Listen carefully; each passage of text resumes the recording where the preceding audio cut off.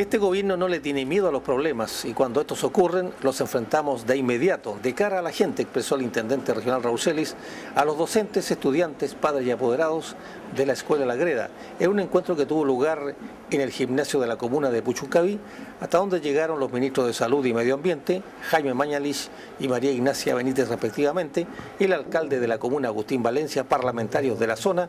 y diversas autoridades regionales, provinciales y comunales. Y aquí estamos con otro problema heredado desde hace casi 50 años y lo estamos abordando y lo estamos abordando en forma integral. Se han hecho anuncios eh, por parte del Ministerio de Salud, por parte del Ministerio del Medio Ambiente y por parte también de la empresa privada, porque en la solución de los problemas nosotros requerimos la actuación tanto de los órganos públicos como de los organismos privados. El ministro de Salud, Jaime Mañalice, dijo que con acuerdo del ministro de Educación, Joaquín Lavín, se dispuso reabrir la escuela de la Greda a partir del próximo lunes, ya que se removieron 7 centímetros de suelo y se impermeabilizaron y sellaron las salas frente a elementos contaminantes. No podrán ocuparse momentáneamente las salas 10 y 11 de Kinder, donde no se han completado los trabajos. Paralelamente anunció que en los próximos 90 días se levantará otro recinto educacional en La Greda, para lo cual se contará con la colaboración de las empresas de la zona hasta alcanzar la construcción de una escuela definitiva. La idea es mejorar las condiciones de habitabilidad frente a la nueva realidad ambiental.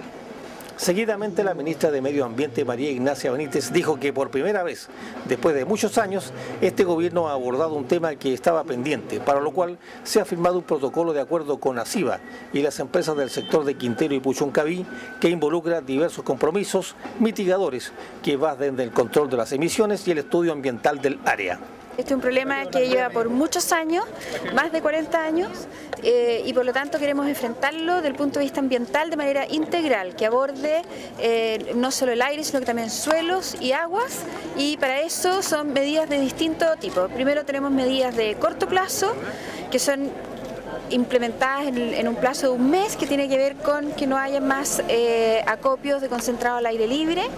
eh, y además con eh, aspiración de algunas zonas donde se producen también algunas emisiones de polvo que van a permitir apuntar a una mitigación importante a lo que se refiere al levantamiento de polvo que llega hacia las distintas zonas. Este plan maestro de sustentabilidad responde a una deuda histórica con la comunidad que compromete a los firmantes a un control de todas las emisiones y analizar su impacto en el aire, agua y suelo de la zona.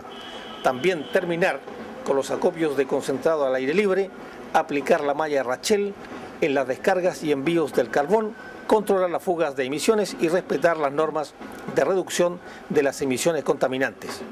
que suscriben se comprometen a, efectuar una serie de acciones. Y en ese marco están las responsabilidades también. Así que eh, tenemos que esperar que este acuerdo se concrete, que este acuerdo involucre una serie de medidas de gestión, las empresas están disponibles eh, y todos queremos trabajar por un Chile mejor. Así que en ese sentido yo quiero decirles que, que en eso estamos y que estamos trabajando y que vamos a tener una mejora sustancial a lo que hoy se vive y que por 40 años nadie se ha hecho cargo. A ver, nosotros en el plano regulador que hemos propuesto al Consejo Regional, claramente eh, lo que se establece para su zona industrial, en el parque industrial de Quintero Puchuncaví, eh, es para industrias a lo más molestas, o sea, no pueden existir industrias peligrosas. Y es salud quien califica la categoría de una industria. Las industrias termoeléctricas están en la categoría de industrias peligrosas, de manera que en el mismo PREMBAL que ha sido propuesto al Consejo Regional impide el establecimiento de, de,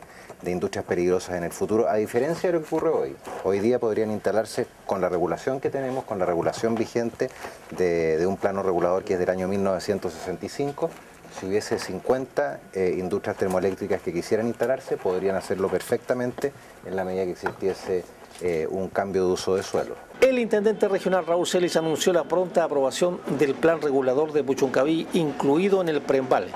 que para esa zona industrial considera la prohibición de que allí se instalen empresas denominadas peligrosas como las termoeléctricas, de cuyas características hoy hay varias en trámite.